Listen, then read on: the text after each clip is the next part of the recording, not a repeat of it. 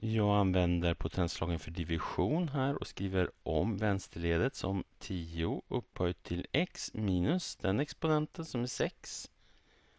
Och det här är lika med 10 upphöjt till minus 5. Och eftersom basen är lika stora så måste exponenterna vara lika stora. Så x subtraherat med 6 måste vara lika med minus 5. Addera 6 på båda sidor så får jag att x är lika med 1.